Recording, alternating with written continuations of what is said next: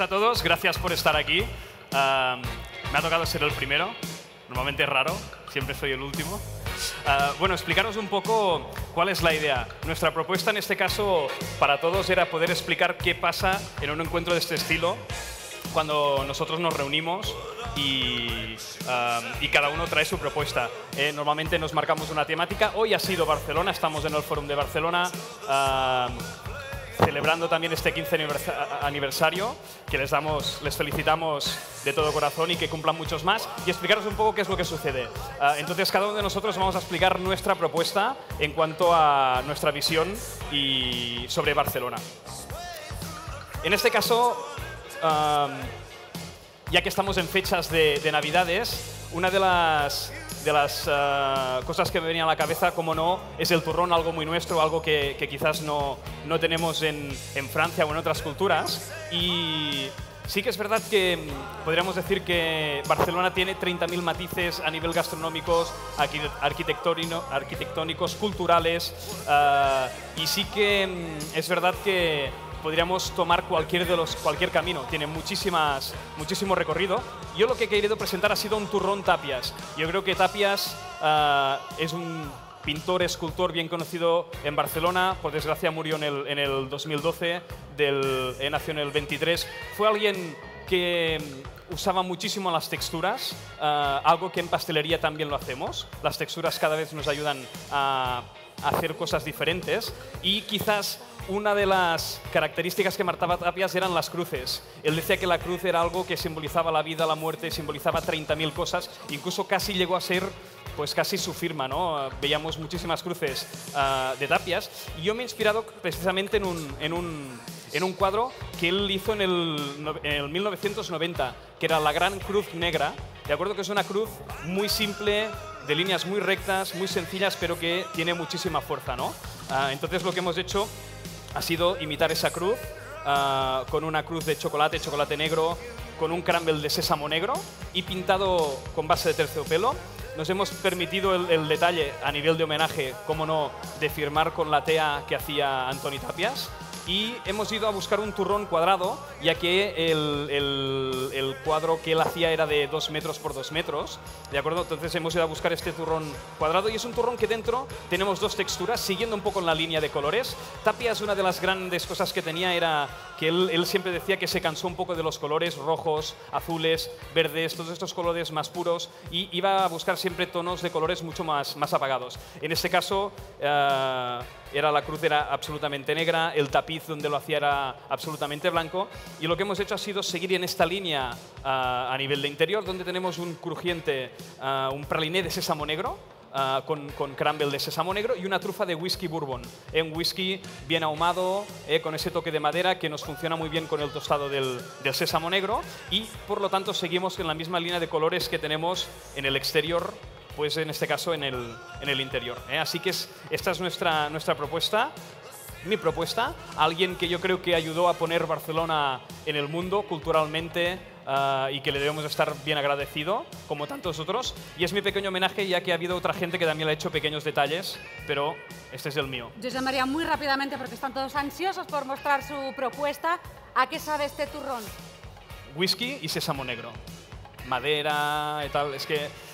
El, el- el sábado por la noche nos bebemos algún whisky, entonces ahí salió la propuesta. El sábado por la noche Barcelona sabe a whisky y a sésamo negro. Bueno, es la particular visión, un producto, en este caso, terminado, ¿verdad? Terminado. Que ya está terminado, que es el, el que nos presenta José María Ribé. Un aplauso para él. Vamos con la siguiente propuesta, ¿os parece?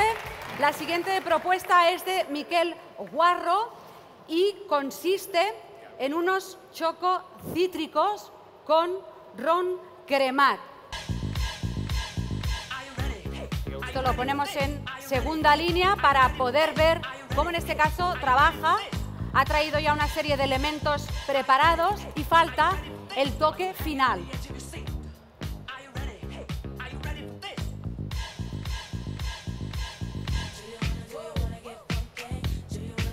¿Qué puedes contarnos de momento, Miquel? Que ahora mismo es un momento crítico, ¿eh? porque si se rompe la pieza se va todo Pues adelante. fuera, ¿eh? Es que yo con micrófono soy vergonzoso, ¿eh? Mirad, eh, esta es mi, mi propuesta. Ah, pues, es mi propuesta, la, la propuesta al final te ponen en compromiso cuando te dicen haz algo sobre Barcelona, porque claro, Barcelona ya está muy muy explotada y tienes que hacer algo que realmente sea eh, que tenga un sentido, que tenga una propuesta coherente, ¿no? Entonces yo pensé, estuve mirando imágenes por internet, por tal, bueno, un montón de cosas, un montón de ideas y al final viendo imágenes de Barcelona desde el aire, yo entendí que Barcelona era una ciudad que estaba muy bien estructurada por calles, gracias, a- bueno, con todo el sistema de, de- del señor Sardá que estructuró la ciudad. El plan Cerdá. El plan Cerdá, eh, que estructuró la ciudad con ah, cuadrículas y entonces es un pequeño, eh, un pequeño homenaje a este hombre que nos ha hecho una ciudad tan ordenada, ¿no?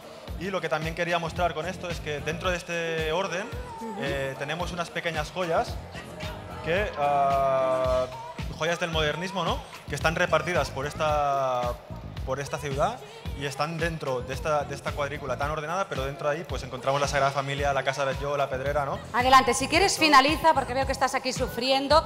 No sé si se aprecia en las imágenes, pero son esta especie de dados, ¿verdad? Como unos dados. La forma también viene por, por la forma de las manzanas de Barcelona, ¿no? De forma redondada, porque también un poco la, la idea que el producto se pareciera a lo que os estoy explicando, porque al final es así. Y a nivel de gustos, eh, yo he asociado Barcelona a cítricos porque es una ciudad muy fresca, es una ciudad donde pasan muchas cosas. Además, en el interior, pues mirad, lleva una sable, la tarta consiste de una sable de chocolate, un ah, bizcocho bañado en un jarabe de, ron, una crema de, cítricos y una- un crujiente de almendra marcona, una almendra del país, y un buen chocolate, porque al final Barcelona es la capital chocolatera de, yo creo que de este país. ¿eh? Entonces, para mí, Barcelona directamente chocolate, después cítricos por el frescor, además es una mezcla de cítricos, lleva distintos típicos de cítricos queriendo plasmar un poco la personalidad, las distintas personalidades de, de Barcelona y además eh, el baño del, del bizcocho de chocolate es un jarabe de chocolate con ron, con un ron cremat, para recordar que Barcelona siempre ha sido una ciudad ah, de mar. Y eh, así es, esto es todo. ¿eh? Ya, Esta descripción va perfecta para esta hora de la tarde. Uno se tiraría aquí aquí encima está ahora mismo. Acabado, pero acabado en el formato este que recuerda ¿no? Eh, Barcelona que la tenemos siempre partida por la diagonal y, y ya está, esta es la idea. Pues Miquel Guarro, enhorabuena. Muchas gracias. Un aplauso para él. Claro que sí. Vamos con más propuestas. Ahora es el turno de Rafa Delgado y su inspiración sobre Barcelona, o lo que Barcelona le inspira, es un recuit de oveja, vainilla y membrillo. Rafa, ¿quieres ir trabajando? ¿Quieres ir comentando? iré un poquito emplatando lo que sería Sí, el- vas emplatando. el postre y demás, Eh, comentar que esto es un pequeño homenaje a lo que antes había en Barcelona, que eran las típicas fondas, ¿vale? Sobre todo en el 1700 aproximadamente, que se llamaban las fondas das sisus. Eran platos que valían seis cuartos, ¿vale? Entonces podías comer una sopa caliente, un queso, un recuit, podías comerte tranquilamente un bistec, por así decirlo. Eran fondas donde iban los trabajadores, ya que comenzaba a ver un poquito el trabajo fuera de las murallas de Barcelona. Como pensiones, ¿no? Sí, sí, era un poquito como la escapada para poder hacer un, un pequeño bocado a lo que sería a- al mediodía, poderse alimentar lo- sobre todo la, la parte obrera. ¿vale? Pues muy bien. Rafa, ¿se tarda mucho en montar un plato así? ¿No? En poquito lo tenemos. El recuit, la traducción sería un poco cuajada, ¿verdad? Para la gente que no esté familiarizada con este postre tan típico catalán. Es, es una cuajada, por así decirlo, lo único que hemos llegado al punto de, de romper el cuajo, eh, perdón, la materia grasa de la leche, entonces hemos creado como un pequeño queso fresco, ¿no? Entonces la, la idea sería eh, internacionalizarlo un poquito porque a la caída de las murallas de Barcelona lo que sí que nos llegó fue mucho producto eh, del exterior, tanto sea todo tema tropical, especias, todo lo que sería del mundo de las Américas, ¿vale? Todo esto nos, nos influenció sobre todo a la hora de postres. Está aquí incorporado. Veo que aquí, si quieres me pongo aquí, Rafael, también tienes flores, tienes hierbas, tienes un poco de membrillo también, ¿me equivoco? Correcto. Esto ¿Y es esta un- fruta? Esto es un membrillo, ¿vale? Que todo el mundo lo conoce como fruta eh, ya confitada, pero lo que la gente no sabe es que ese tipo de membrillo, eh, dándole una serie de cocciones y de, de tratamientos, podemos obtener una fruta comestible como si fuera una manzana pochada al horno. ¿no? Eh, aquí no hay mucha cultura, por así decirlo, pero poco a poco sí que se va trabajando como tal, como una fruta más en mesa. ¿no? Hay que decir que todas las eh, recetas que vayamos eh, haciendo durante la sesión estarán colgadas en breve en nuestra página web. Los se podrán, ¿Cómo no? consul- ¿Cómo no? se podrán consultar Claro y aquel que quiera animarse ya, ya sabrá. Adelante. Un postre cítrico y un postre digestivo también, ¿no? Con la cuajada. ¿Cuál es la intención?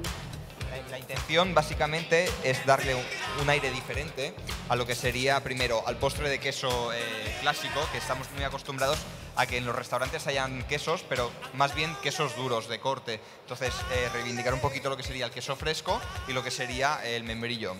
Aquí también lo que queremos eh, poner, ¿vale? Sería unos locums. Unos locums son unas pequeñas gelatinas que se gelifican y después se rebozan con azúcar y se dejan deshidratar, eh, que viene del de la cultura eh, turca.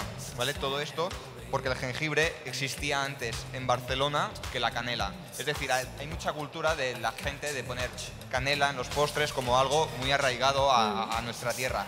Pero anteriormente, antes de que hubiera una canela, la canela como especia y como producto eh, bastante caro, había el jengibre. Adelante. Te iba a decir, casi que termines para ver la pinta que tiene esto. También un toque de color.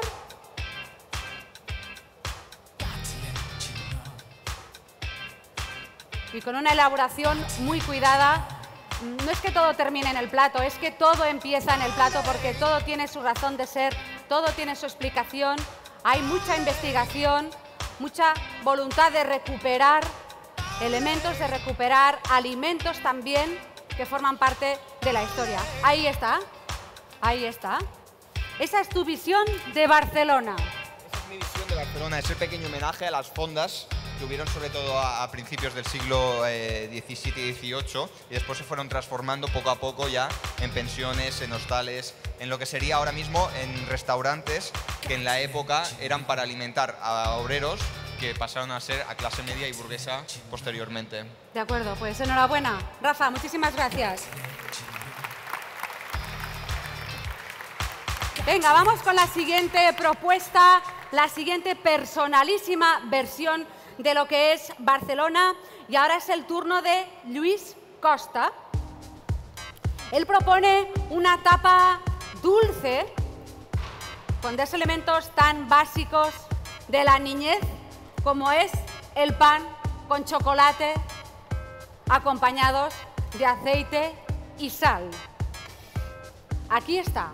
A ver, cuéntanos. Bueno, la, idea de lo que hemos hecho es una, una cosa basada muy en, en Cataluña, en Barcelona. Hemos hecho un pan con chocolate, que es lo típico que se comía antes, ¿no? El pan con chocolate, pues lo hemos versionado un poco con la tradición que tenemos ahora en Barcelona. Está muy de moda el tema de las tapas, todo esto. Y bueno, la idea era hacer una tapa de pan, aceite, sal, chocolate, darle un poco la combinación y buscarle un poco la, la- la idea al producto, ¿no? En este caso lo que hemos hecho ha sido un, un pan de especies.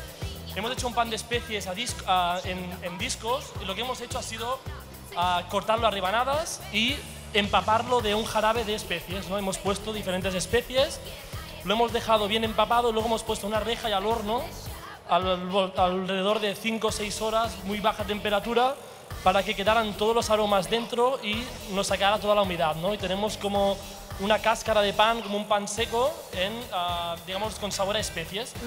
Luego hemos hecho un aceite, un- una crema de chocolate con aceite de oliva. En este caso lo que hemos hecho, ah, tenemos en el mercado un aceite de oliva texturizado, un aceite de oliva que es, lo venden ya denso, y le hemos añadido chocolate. ¿Qué, qué ganamos en esto? No? Le hemos puesto muy poco chocolate, mucho aceite, y es una crema que sabe muy, muy, es muy aceitosa con un buen aceite y te deja muy buen sabor de boca. Y al final lo que hemos hecho ha sido un disco de chocolate negro, un chocolate del 70% que te da el contraste con el aceite, las especies, un chocolate negro con un poco de sal, ¿vale? Que te da también un crujir y algo también ah, diferente en cuanto a sabor. Luego la idea de esto es un poco pues un packaging presentado pues para tienda, para vender, ¿no? Bastante comercial. La idea es vender este kit y el cliente cuando lo pone en la mesa pues se puede construir su propia tapa y entra como un poco de, con una dinámica con la gente que está, digamos, a, comiendo y se montan cada uno su propia tapa. Si le apetece un poco de pan con chocolate, aceite y sal, que se monte. Y tienen el mejor postre con sal, chocolate y. Lo tienes aquí detrás escondido, ¿lo puedes enseñar ya? Bueno, pues tenemos aquí la tapa ya montada. La versión con este pan que quizá está un poco duro. Un poco crujiente, tiene un pelín de humedad, pero también queremos encontrar en los laterales un punto crujiente y tampoco que se desmorone todo, sino que sea bastante, bastante ligero. Eh, Luis, ¿y esas partículas, por decirlo de alguna forma, así doradas?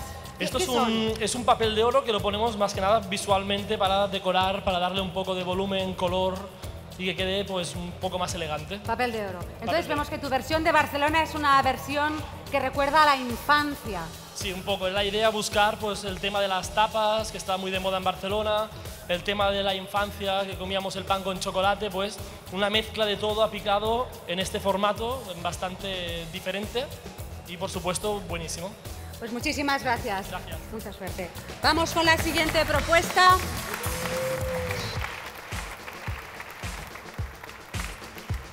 Respiran aliviados cuando ya han hecho la presentación, porque bueno, ahí está, ahí queda mi visión, pero vale la pena, vale la pena contar al público que tenemos hoy aquí de qué está hecho, cuál es la idea, cómo se explica ese postre, porque dónde termina ya sabemos dónde es. A ver, la siguiente propuesta, el siguiente pastelero que nos va a contar qué piensa de Barcelona es Albert Badía con un pastel semifrío. Adelante, Albert. Los elementos que nos traes. Me pongo aquí.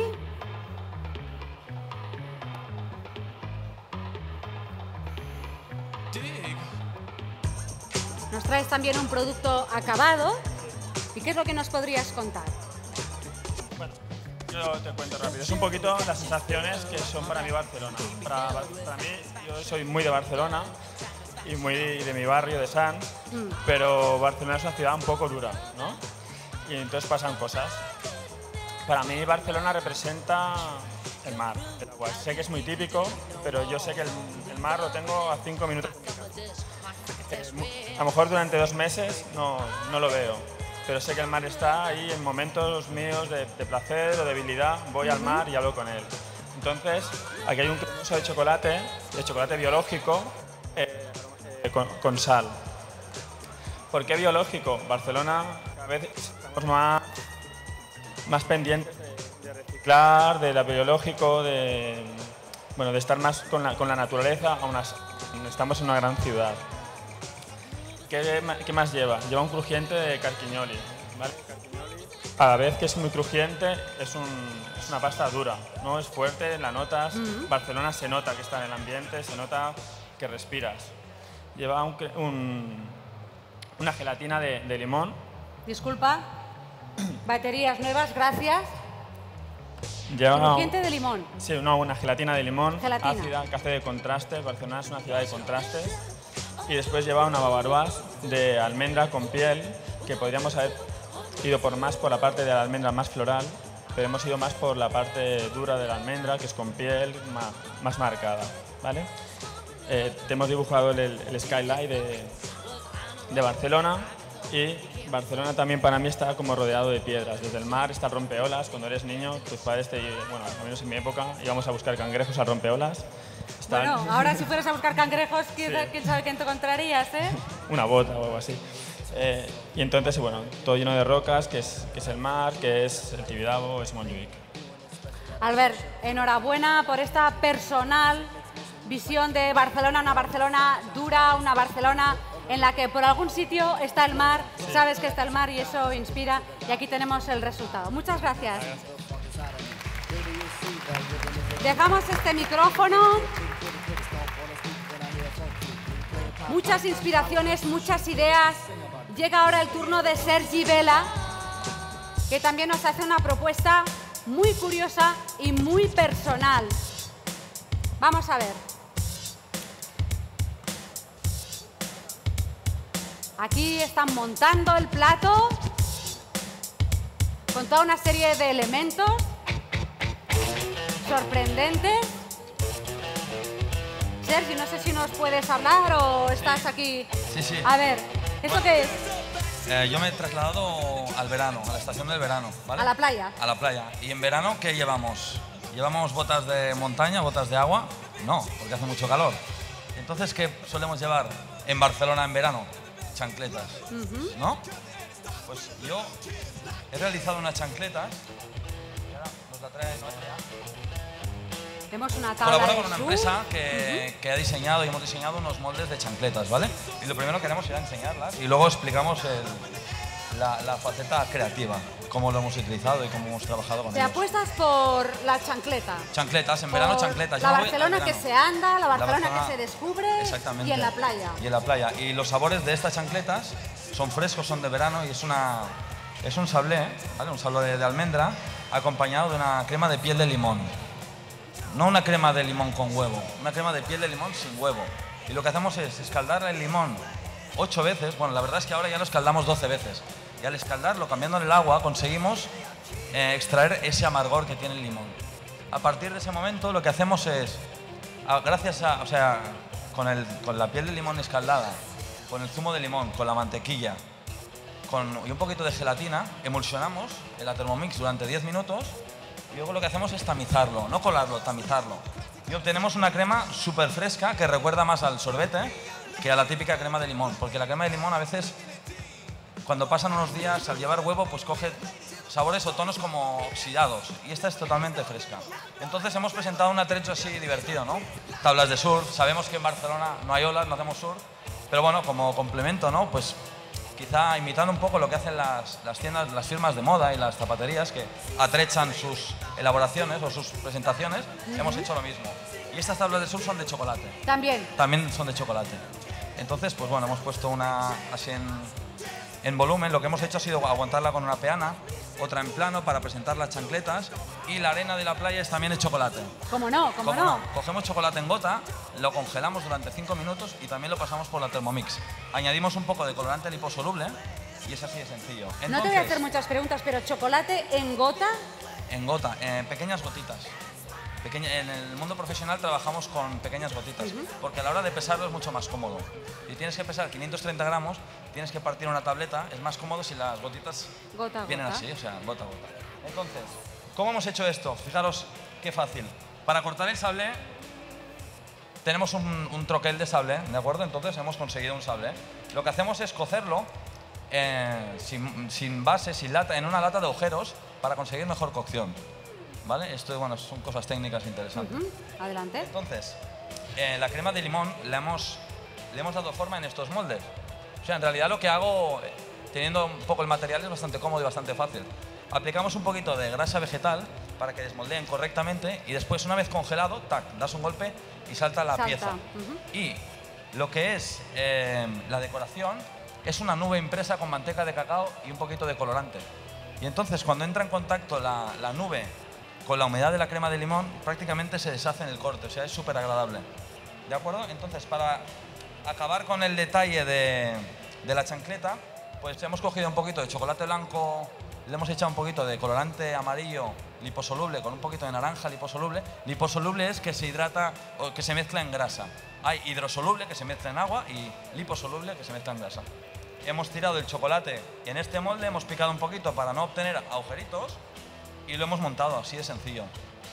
Así, así de sencillo parece, ¿no? Pero seguro que está buenísimo. Qué, qué bien lo estamos pasando y qué mal lo estamos pasando al mismo tiempo. Sergi, enhorabuena, muchas gracias por tu versión de, de Barcelona. Hay que ver. Bueno, seguimos, continuamos con más propuestas de este colectivo BRICS, 21 BRICS, que está dando su personal versión de lo que es la pastelería y de lo que es la ciudad de Barcelona. Ahora le toca a Jordi Bordas. Jordi, adelante. Pasa.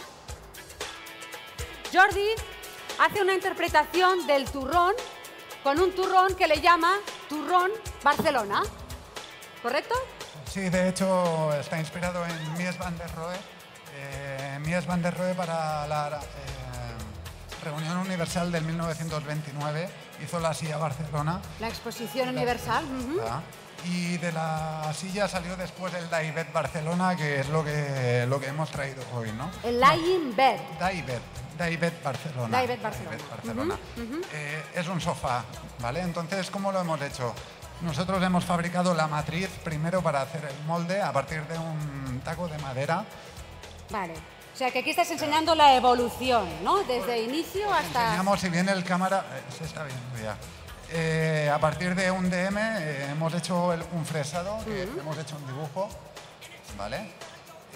después cuando hemos tenido el fresado hecho, lo que hemos hecho ha sido pulirlo con papel de lija para sacar exactamente el mismo dibujo y grabado que tiene el sofá original. Mm. Ese acolchado, ¿no? Ese acolchado, sí, perfectamente. Una vez hemos tenido esto en madera hecho, lo que hemos hecho ha sido hacer el molde termoformado con el que nosotros ya construimos el producto final, ¿vale? que es válido para pastelería. que es válido ¿eh? para pastelería ya a partir de aquí, una vez ya tenemos el molde hecho, ya podemos empezar con la parte dulce, ¿no? Digamos que es moldearlo con chocolate. Hemos utilizado un chocolate al 60% de cacao eh, para que los gustos que van detrás no se nos desmascaren mucho, o sea, que tenga el, toque de chocolate, pero que realmente lo que destaque sean los sabores de turrón, ¿no? Que amargue lo justo, vamos. Que amargue lo justo, sí. A partir de aquí hemos hecho la capa de chocolate, una ganache con mandarina, hemos cogido dos productos del país, la mandarina y la avellana de Reus, y hemos desarrollado una ganache con mandarina y después viene un praline hecho con avellana, avellana de Reus, con trocitos pequeños para que tenga una textura crujiente, ¿no? Mm. Y prácticamente ya está. Entonces aquí podéis ver el producto ya acabado. ¿Cómo haces eh, eh, esta, podríamos decir, este acabado así medio rugoso? Esto se hace proyectando chocolate con una pistola, chocolate atemperado y queda como textura de vellut, eh, como si fuese la misma piel que está hecha el, el sofá. Jordi Bordas. Bueno, esta es la personal visión de Barcelona, con una inspiración, con una explicación histórica en este caso, y aquí podemos ver la evolución tal y como la has presentado. Muchas gracias. Venga, a ver, el siguiente es Rubén, ¿sí? Sí. ¿Te atreves? Me atrevo, Venga, adelante. Muy buenas tardes a todos. Pieza de chocolate a champla, sí, ¿correcto? Correcto. A ver. El, último año he estado dedicado más al tema de la heladería y por eso, bueno, tenía mono de chocolate y también al estar en Alicante, a la hora del transporte y todo, pues me venía mejor el tema de una figura. Entonces, bueno, me he inspirado en, el sample, en lo que es el, el ensanche que hizo Ildefonso Erdal. Y jugando con, bueno, la gente que me conocéis, soy un loco de la geometría. Y bueno, la verdad que es un hombre que, un ingeniero que revolucionó el mundo del urbanismo y bueno, visionó algo hace más de 150 años que, que bueno, que es totalmente actual. Entonces, bueno, es una persona que, que eso que que es del pueblo de José María. Hay dos personalidades, José María y este señor. Y, la verdad que, bueno, una frase que me, gusta mucho es la de ruralizar aquello que es urbano, urbanizar aquello que es rural, ¿no? Y lo que hizo fue hacer la, ciudad más habitable que, que, no tan comprimida. Entonces, si os fijáis, eh, siempre juega con la misma manzana, jugando con la tipología de, de lo que es cada, cada manzana. Entonces, bueno, jugando con, con, esta forma y lo que ha hecho ha sido las tres formas que, que, están inspiradas en su trabajo. Una es lo que es el edificio con el patio interior, el otro es eh, dos pisos laterales y el otro en paralelo, de manera que siempre lo que obtenía era una zona de, como de recreo y, y bueno, de esta manera pues era mucho más habitable. El tío pensó hasta que cuando le daba el sol, con un ángulo de 45 grados, cada edificio no le... Hacía sombra. no le hacía sombra, ¿sabes? Que medía incluso la altura de los edificios. Y aparte, el, ángulo de 15, bueno, de 15 metros de cada chaflán, lo que hacía era... Eh, que él pensaba que iba a pasar locomotoras y era para ver el paso que pudieran tener visibilidad. O sea, todo pensado. O sea, el tío un auténtico crack. Luego, dentro de, de esta mini Barcelona, lo que he hecho ha sido como homenaje a cuatro personas más. Como tengo poco trabajo, pues me he liado más. Y uno de ellos es eh, Joan Brossa. Y es un, bueno, un poeta visual y la verdad que, bueno, que me encanta su trabajo. Y bueno, partiendo de un poema visual transitable, lo que he hecho ha sido una figura, bueno, partiendo de, de la, de la de Joan Brossa. En homenaje a Joan Brossa, Sí. poeta. Ujú. El siguiente sería André Ricard, es un pionero en el diseño industrial y bueno, como veis en la foto fue el que diseñó la antorcha olímpica de Barcelona. Aparte, bueno, ha diseñado piezas eh, emblemáticas. Una de ellas es una caja de bombones de- para un amigo, King Cat de Vila, que en el 1964 di- le diseñó el molde y el packaging a este señor. Ha diseñado el agua de Puig, eh, bueno, muchísimas cosas. Y bueno, eh, hay un, un abridor que se llama Skid, que es lo que he hecho yo en, en chocolate, el- lo que es el jugando partiendo siempre de lo que es la base. Luego una tipógrafa, también de aquí de Barcelona, se llama Lara Meseguer, y fue una, junto a Pati Núñez, la diseñadora que hizo el libro de Álvaro Adrià, que para mí bueno, es el primer libro que, que adquirí y tanto a nivel de obra como a nivel eh, de todo, pues es un referente, tanto Albert como ella, como todo. Y bueno, a nivel tipográfico diseñó una tipografía que se llama Rumba y partiendo de esta tipografía lo que he hecho ha sido una serigrafía que está hecha con esta tipografía y aparte tiene un texto que se llama Loren Ipsum que lo utilizan los diseñadores a la hora de rellenar eh, espacios, a la hora de hacer una web nueva, a la hora de, de, bueno, de textos, co- como todavía no está generado el texto, pues eh, se hace con, con este texto, que es un texto que tiene más de 2.000 años. Dos mil años, has dicho. Sí, y si alguien tiene que hablar de Barcelona, no podía faltar un señor que es Enrique Rovira. Anoche, cuando estaba montando eh, la presentación, intentaba escribir algo de él, pero me era totalmente imposible. Eh, es inclasificable a nivel de chocolatería, diseño gráfico, hace fotografía, hace prácticamente todo. Y lo que he hecho ha sido bueno, el- él es Barcelona, el copito de nieve, todo el tema de las rayolas. eh, a nivel de trabajo ha hecho un trabajo fantástico y hace unos años sacó un concepto que era el Imagine y con, con ese molde de, de bombón lo que he hecho ha sido un, un montaje de, de lo que es la, la pieza. Muchísimas gracias. Y por último, esta es la, la tumba de Ildefonso Cerdà. Si algún día me muero, que espero que ninguno de vosotros lo veáis, me gustaría tener una tumba así. Ahora os saco la pieza para que la veáis y muchísimas gracias. Lo tienes todo pensado, ¿eh, Rubén? Bueno, en su caso ya han visto, es un homenaje a Barcelona, a las personas que han hecho Barcelona como es, con nombres y apellidos. Su particular versión, aquí hay para todos los gustos y todas las referencias. Como ven, cada uno tiene su explicación y su motivo. Muchísimas gracias. Ahí queda. Bueno, y por último, después de Rubén, nos queda Kim Vilaseca. Es la última de las propuestas que queremos presentar hoy, que quiere presentar este colectivo 21 Bricks. Y va de la mano de Kim Vilaseca, que nos propone un polo de cereza, lima y guindilla. Kim, tienes aquí la última esquinita, Sí. pero bueno, una presentación. ¿Qué es esto? A ver, cuéntanos. Pues al, al final es simplemente un polo, un polo de cereza, lima y guindilla. En el momento que hablamos de inspirarnos en Barcelona, yo pensé en la Barcelona que aparece, que existe detrás de la postal, la Barcelona underground, la Barcelona canalla.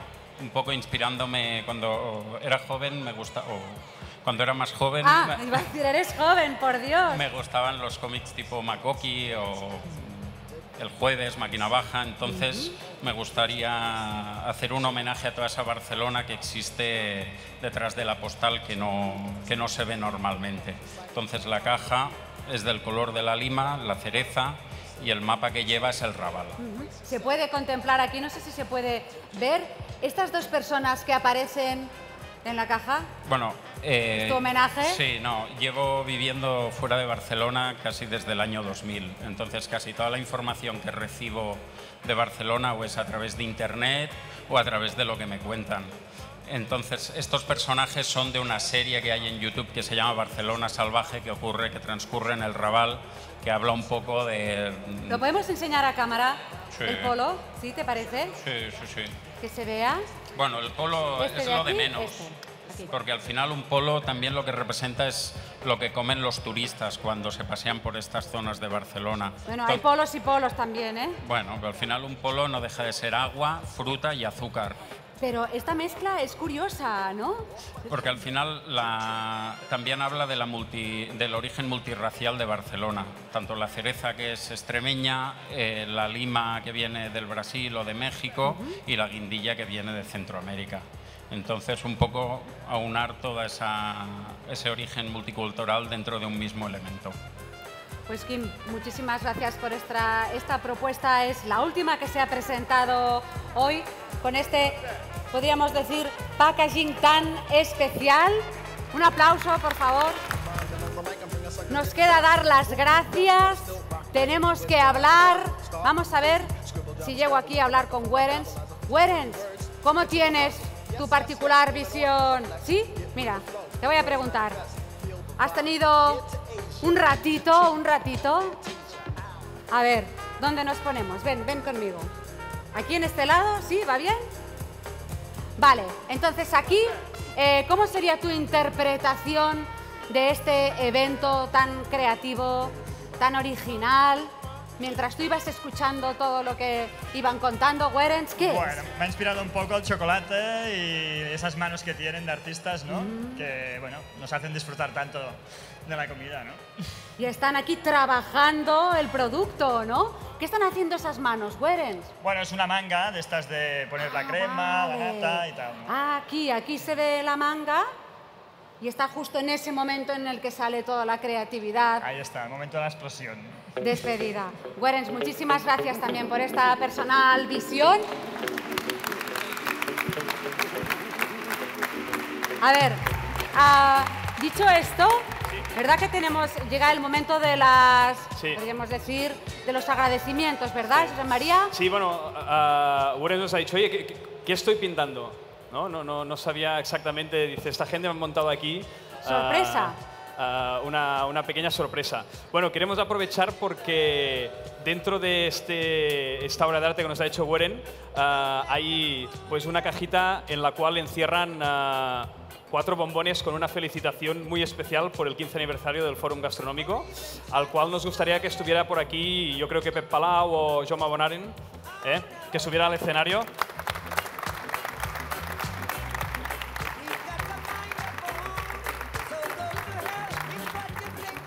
Una de las personas que hace Y- posible este fórum. Gracias, a, gracias a, a las manos de Rubén, que ya habéis visto cómo funciona, eh, Rubén ha hecho el diseño de la caja donde lo que tenemos es ah, 15 años del Fórum Gastronómico.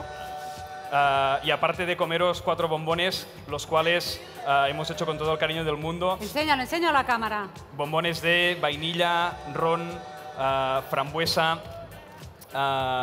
y lima y almendra marcona, ¿sí? Pues podréis llevaros una pequeña pequeño trocito de la obra de arte que nos ha hecho Weren y pues un pequeño recuerdo. Así que la, la primera de todas, como no, es para vosotros. Estupendo. Muchísimas,